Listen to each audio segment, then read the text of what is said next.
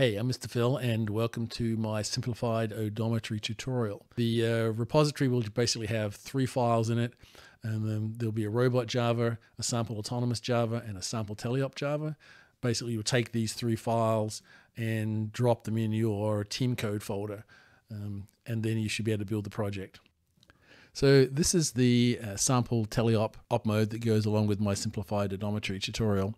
It's pretty much like any other OmniDrive teleop except that it has a couple of additional features and it uses the hardware class, the robot class that was created as part of this tutorial. So if we look down below here, you'll see this robot equals new robot, and that is where we create the hardware class that controls all of the motors and reads the encoders and stuff like that. So that has robot motor control in it, plus it also has a a proportional controller that we're going to use to control the heading of the robot to stabilize everything. So as we go through this tutorial, just remember that the uh, whenever we reference robot, we're talking about the robot class. And if you want to know more about what that class is doing, check out one of the other videos as part of this tutorial. In Teleop, normally you're just driving with the joysticks. You're driving around, and if you have an OmniDrive, something you'll notice is that for example, when you strafe sideways, quite often the robot will kind of like spin a little bit, and because it's spinning, it'll start heading off in a different direction, or it may drift forward and backwards. It may do various things, but controlling that heading is the hardest thing with uh, OmniDrive because any weight differences on the wheels or any frictions, uh, it won't do a pure motion. So one thing we can do with Teleop here is we can use some of the capabilities that we built into our robot class in particular, there's really only one that we're interested in, and that is heading controller, the proportional controller that we use for yaw. And we can use that in such a way that if we're not physically turning the robot with the joystick, then it makes sure that the robot doesn't turn accidentally, doesn't rotate while it's driving. And that way then if you're using strafing and and driving, you'll get much straighter lines and you'll be able to navigate between obstacles because the robot is not going to you know, you're not going to have to be constantly adjusting the heading and then consequently adjusting the, the motion of the robot.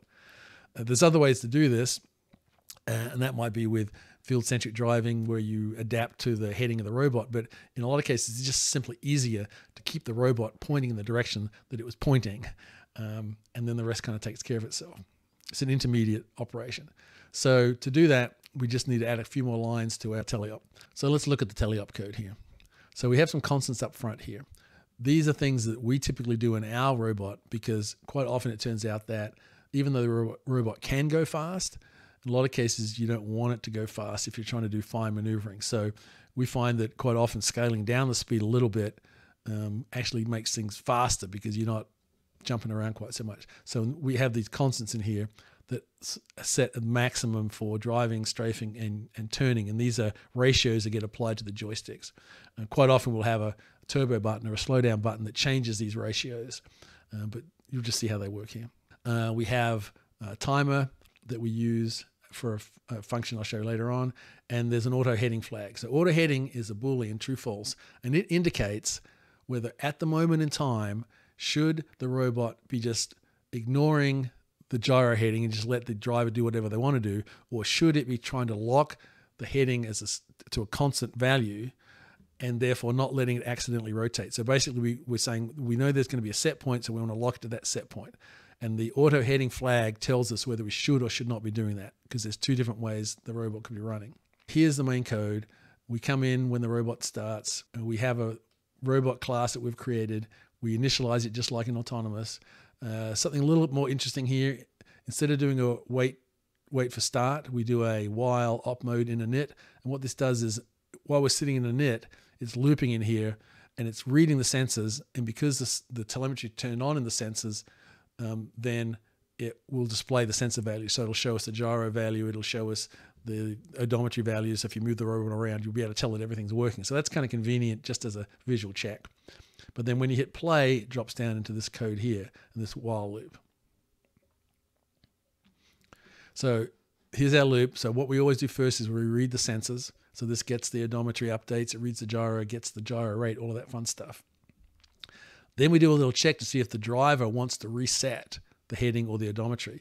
And this might be something that do, uh, you know, sort of if you find that the headings drifted over time or got knocked out of whack and forward and backwards aren't quite where you want them, or if you're using buttons to turn your heading manually, sorry, automatically, you might want to reset. This is optional. You don't need to do this.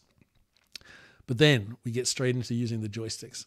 So this is pretty typical. So we're going to read the three joysticks, uh, one joystick for each motion, uh, and we're going to multiply the joystick value by that safe speed that we showed up top.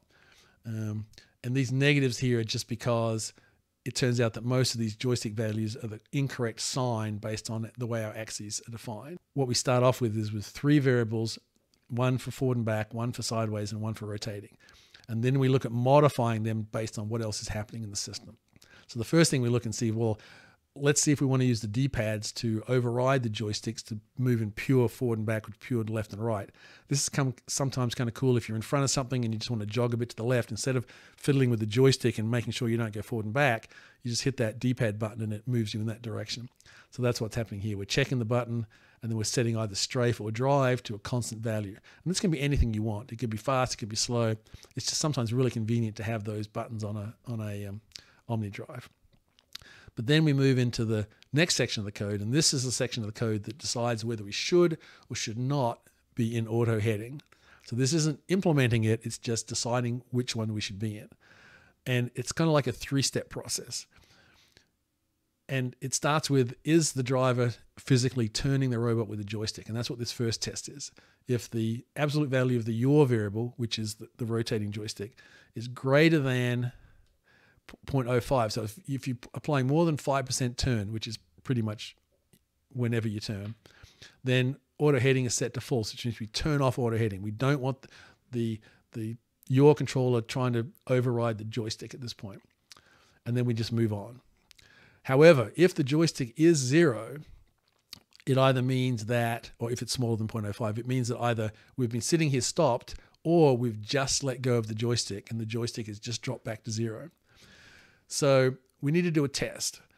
Um, we could just, whenever the joystick's zero, turn on auto heading. But that has a weird effect that if you're currently spinning and you let go of the joystick and lock in the heading at that moment, the robot's going to, its inertia is going to make it rotate a little bit further. Then it's going to come back to that heading, which is a little off putting for the drivers. So what we do is we say, okay, if we're not in auto heading, which is if not auto heading, and the turn rate is less than a certain amount. If we've actually physically stopped rotating, then we'll lock in the heading and turn on auto heading. But if the turn rate is faster, which means we're actually still rotating, we wait. We don't do anything. And that way, then, when you let go of the joystick, if you're spinning, it'll come to a complete halt and then it'll lock in that heading, which is much more natural for the drivers. So that's what's happening here. Then we say, okay, so now we'll actually pay attention to whether we're meant to be in auto heading or not. We'll just check the auto heading flag. So if auto heading, then what we'll do, we'll say, oh, well, now we want the proportional controller to take charge of the heading. So basically, what it does is it uh, um, uses the get output.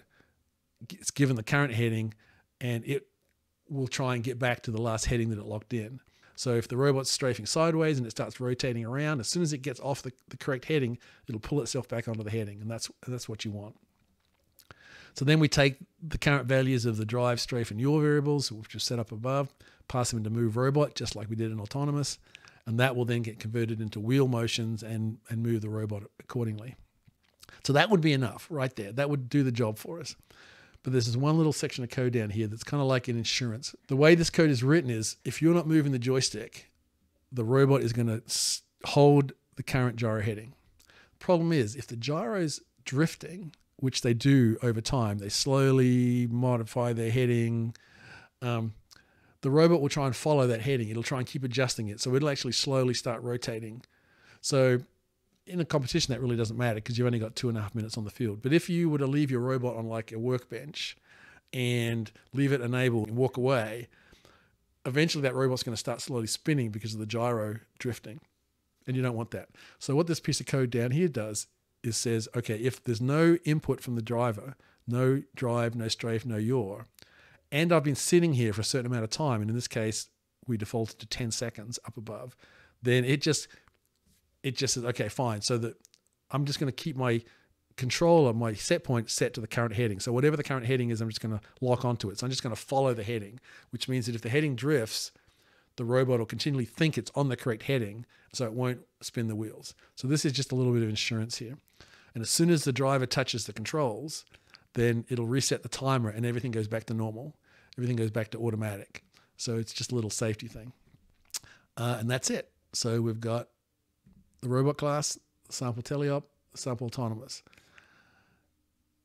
If you haven't already, I would recommend you go and watch the other video that goes with this, which is one that explains how, you know, what the assumptions are, how to set up your odometry modules, um, you know, what the goal is overall of this, just to get a, you know, warm fuzzy feeling on, you know, why this code is like it is. Um, and as a coach or as a, someone who's new to programming, it gives you a little bit more understanding of how to apply this code and, and what the expectation is. Uh, but other than that, thanks very much for watching.